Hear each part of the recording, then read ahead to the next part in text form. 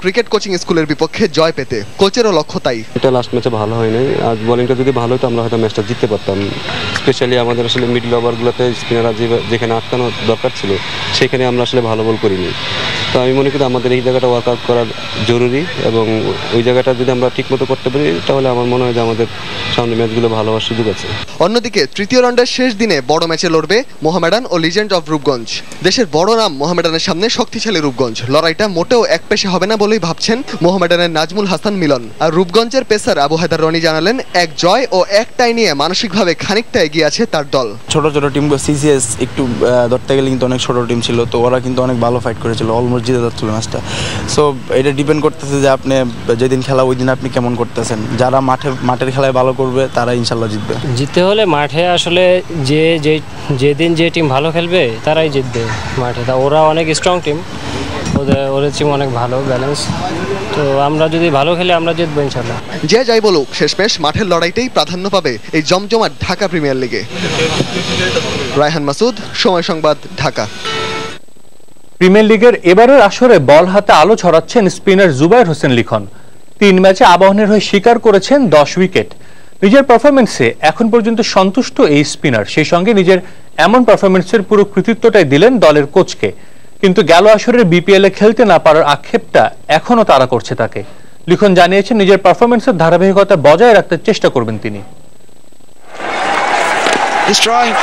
নেই প্রতিভার ঘাটতি। ক্রিকেট কোচ ও সংশ্লিষ্টদের চোখে তিনি বাংলাদেশের ক্রিকেটের জন্য সম্পদ। দুই হাজার চোদ্দ সালের অক্টোবরে ঘরের মাঠে জিম্বাবুয়ের বিপক্ষে অভিষেক সিরিজেই নিজের প্রতিভার জানান দিয়েছেন। কিন্তু এরপর টানা প্রায় এক বছর জাতীয় দলে খেললেও নিয়মিত ছিলেন না। দুই হাজার পনেরো সালের আগস্টে দক্ষিণ আফ্রিকার বিপক্ষে খেলেছেন শেষ টেস্ট। এরপর লিখনের লক্ষ্য ছিল দুই হাজার পনেরো সালের বাংলাদেশ প্রিমিয়ার লিগ বিপিএল এ খেলা। সেই ছোট সংস্করণের ক্রিকেটে নিজেকে প্রমাণ করেই চেয়েছিলেন ওয়ার্ল্ড টি টোয়েন্টি আসরের বাংলাদেশ দলে জায়গা করে নিতে। কিন্তু বিপিএল রংপুর রাইডার্সের হয়ে খেলার কথা থাকলেও দলটির অপেশাদারী আচরণে শেষ পর্যন্ত খেলা হয়নি লিখনের। কষ্ট লাগে কি যে আসলে দুই পিএলে যেটা হয়েছিল যে আমার ওরা মানে আমার সাথে সব ঠিক মানে কনফার্ম করে ফেলছিল। তো আমি ভাবছিলাম যে হয়তো আমি যদি ম্যাচও না খেলে, এখানে অনেক ভালো ভালো প্লেয়ার ছিল, যে অনেক কিছু শিখতে পারব। তো তারপর আসলে তারা আমার নেওয়ার পর আবার ই করছে। এই জিনিসটা খুব মানে হার্ড হয়েছে আর কি অতীতের আক্ষেপ পেছনে ফেলে প্রিমিয়ার লিগের এবারের আসরে বল হাতে নিজেকে নতুন করে চেনাচ্ছেন এই স্পিনার। আবাহনীর হয়ে এখন পর্যন্ত তিন ম্যাচে দশ উইকেট শিকার করেছেন তিনি। পারফরমেন্সের এমন ধারাবাহিকতা ভবিষ্যতেও বজায় রাখার চেষ্টা করবেন বলেও জানান লিখন। আমারও চেষ্টা ছিল যে সে যেহেতু এত বড় মুখ করে আমার নিচে তো ভালো কিছু করার টিমের হয়ে তো ইনশাল্লাহ দে- তিনটা ম্যাচে দুইটা ম্যাচে আল্লাহর মধ্যে খুব ভালো করছি এবং দুটা ম্যাচে আমরা দিচ্ছি তো খুব ভালো লাগতেছে আসলে যে তার এটা আমি রাখতে পারছি। তো ইনশাল্লাহ চেষ্টা থাকবে নেক্সট ম্যাচগুলো তো কিছু না কিছু করা এবং টিমের জন্য ভালো কিছু করা আর কি। ক্যারিয়ারে দ্বিতীয়বারের মতো প্রিমিয়ার ক্রিকেট লিগ খেলা লিখনের স্বপ্ন এবারের আসরের সর্বোচ্চ উইকেট শিকার করা। মাহফুজুল ইসলাম সময় সংবাদ ঢাকা। অভিষেকের পর সাদা পোশাকের ক্রিকেটে তাকে বাংলাদেশ জাতীয় দলে দেখা গেছে বেশি। যদিও রঙিন পোশাকের সুযোগ পেয়ে অভিষেক অভিষেকে হ্যাট্রিক গড়ে ইতিহাস গড়েছিলেন। কিন্তু তারপরে কোনো অজানা কারণে ওয়ানডে দলে নিয়মিত হতে পারেননি। আর টি টোয়েন্টিতে তো অভিষেকে হয়নি দারুণ প্রতিভার অধিকারী বাহাতে স্পিনার তাইজুল ইসলামের।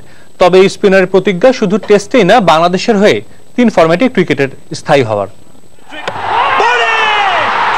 যেন ক্রিকেট জ্যোতিষীর কাছ থেকে কোনো জাদুর বিদ্যা পাঠ করে মাঠে নেমেছিলেন। নইলে কি ওয়ানডেতে অভিষেকে হ্যাট্রিক বিস্ময় ইতিহাস যাই বলুন না কেন, এমন গর্বটা বাংলাদেশের স্পিনার তাইজুল ইসলাম লিখেছিলেন ক্রিকেট পাণ্ডুলিপিতে মিরপুরে জিম্বাবুয়ের বিপক্ষে। কিন্তু অবাক হলো সত্য, এরপর মাত্র আরেকটি ওয়ানডে খেলার সুযোগ হয়েছিল তাইজুলের। তাও আবার বিশ্বকাপে এক বছর আগে। তারপর ফর্মে থাকলেও সুযোগ আর মেলেনি। অদৃশ্য সেই কারণ জানা নেই তাইজুলের। জানতেও চান না। তবে সংকল্প একটাই, তিন ফর্মেটেই ক্রিকেট খেলতে চান নিয়মিত। তিন ফর্মেটই খেলছে আর শুধু যে টেস্টই খেলব এটা তো কোনো কথা না। তে একটা যখন ভালো বলার একটা ভালো বলার সবসময় ওই তখনই ভালো বলার প্রমাণিত হবে যে সব ফর্মেট খেলতে পারবে।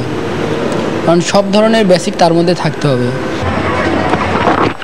কঠিন চ্যালেঞ্জ তাই বোলিংয়ে নতুনত্ব আনার চর্চা করে যাচ্ছেন ভিন্ন কিছু আবিষ্কারে। কম্পিটিশনটা বেড়ে গেছে বলারের সংখ্যা বেড়ে গেছে আর প্রতিনিয়ত দেখা যাচ্ছে যে আপনার বলের ভেরিয়েশন বাড়তেছে আপডেটটা বাড়তেছে। তো এগুলো বিষয় নিয়ে আসলে কাজ করতেছি। ওই লেভেলের ব্যাটসম্যানদের সামনে কেমন করে বল করতে হবে বা কোথায় কোন ব্যাটসম্যানের দুর্বলতা আছে, এই জিনিসগুলো যদি আমি তাড়াতাড়ি ধরতে পারি, সেই লাইন লেন্থে যদি বলিংটা করতে পারি এই এইগুলো বিভিন্ন বিষয় নিয়ে কাজ করতেছি। আরাফাত সানি বোলিং অ্যাকশনের কারণে জাতীয় দলের বাইরে থাকাটা সুযোগ মানছেন না তাইজুল। কারণ বাংলাদেশ জাতীয় দলের পাইপলাইনে অনেক প্রতিভাবান বাহাতি স্পিনার আছে। তাই নাটোরের এই স্পিনার বিশ্বাস করেন ঘরোয়া ক্রিকেটের সর্বোচ্চ উইকেট শিকার করতে হবে তাকে।